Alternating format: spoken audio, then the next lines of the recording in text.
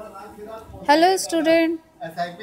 बच्चों आज के हमारे हिंदी व्याकरण में आज का टॉपिक है पुलिंग और स्त्रीलिंग जैसा कि आप आप जानते ही होंगे कि लिंग किसे कहते हैं।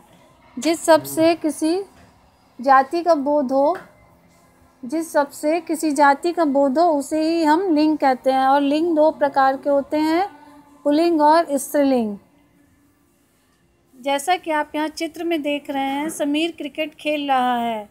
शिक्षिका पढ़ा रही है। शेर गुफा में बैठा है। बिल्ली दूध पी रही है। मेज पर फूलदान रखा है। यह छोटी सी कटोरी है।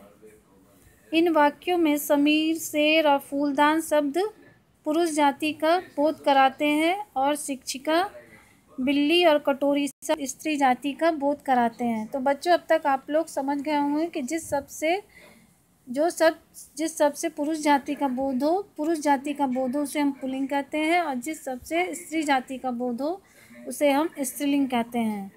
संज्ञा शब्द पुलिंग या स्त्रीलिंग होते हैं।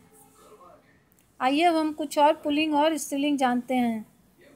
तो आप लोग जानते ही हैं, पुलिंग पुलिंग मतलब पुरुष जाति का बोध और स्त्रीलिंग मतलब स्त्री जाति का बोध। पुलिंग, पिता का माता, लड़का का लड़की, बेटा का बेटी, नाना का नानी, दादा का दादी, छात्र का छात्रा, चाचा का चाची, माली का मालिन, राजा का रानी, गायक का गायिका, औरत का आदमी, लेखक का लेखिका। सुनार का सुनारिन, कुमार का कुमारिन, अध्यापक का अध्यापिका। बाघ का बाघिन, ऊँट का उठनी, हंस का हंसनी, भैंसा का भैंस, मोर का मोरनी, चिड़ा का चिड़िया, घोड़ा का घोड़ी, शेर का शेरनी, हाथी का हथनी, नाग का नागिन, बंदर का बंदरिया, चूहा का चूहिया, कबूतर का कबूतरी, मुर्गा का मुर्गी, बिल्ला का बिल्ली। पुलिंग और स्त्रीलिंग शब्दों के साथ आने वाले क्रिया शब्दों का रूप भी बदलता है। जैसे बकरा घास खा रहा है तो खा रहा है, क्रिया हुई तो ये किसका बोध करा रहा है? खा रहा है मतलब पुलिंग जाति का बोध करा रहा है। मेज पर गिलास रखा है, रखा हुआ है तो ये भी पुरुष जाति का बोध करा रहा है। और दरवाजे पर ताला लगा है, ताला लगा है, ये भी एक पुलिंग जाति का बोध करा रहा है। वैसे ही बकरी घास खा रही है।